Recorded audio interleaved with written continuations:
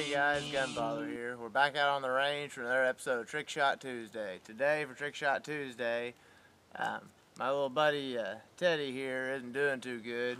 Uh, Hangman's got him hanging from a noose and he's about to kick the block out from under him. So uh, we're going to be over here across the creek and we're going to attempt to cut the uh, noose before old Teddy bites it. So guys, hope y'all enjoy this video. Let's do this. Oh yeah, by the way, I'll be using my uh, Ruger Mark II target.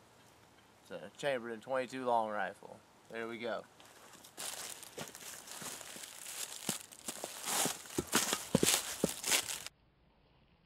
Alright, here we go.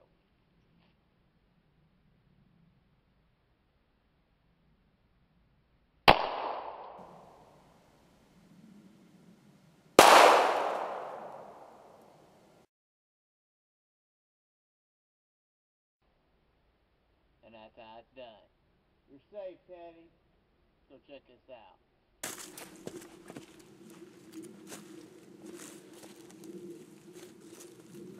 Alright, Teddy, we saved your hide.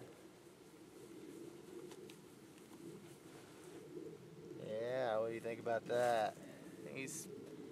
Man, you need to keep yourself out of trouble. Our buddy Teddy here's free to get into some more trouble. Well, guys, I really like my new little uh, Ruger Mark II target here. I'm sure y'all be seeing a lot more of it. Um, hope y'all have enjoyed this video. We split a uh, just a regular piece of string from about 20, a little over 20 yards away using the Ruger Mark II target. So I hope y'all have enjoyed this video. Remember, if you guys like this stuff, please be sure to rate, comment, subscribe, and share. Uh, give me that thumbs up button if you like this. Uh, hit that subscribe button if you want to see plenty more. Do this every single week. We've got Trick Shot Tuesdays every week. Do a Firearm Fridays videos most Fridays. So uh, I'll see y'all next week.